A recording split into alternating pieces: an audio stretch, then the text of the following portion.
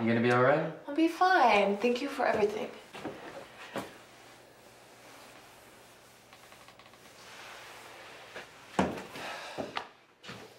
You kids behave.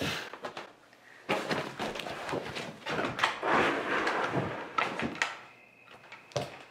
still need to call a plumber.